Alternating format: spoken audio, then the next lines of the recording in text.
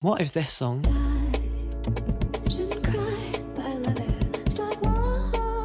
was made into a movie soundtrack?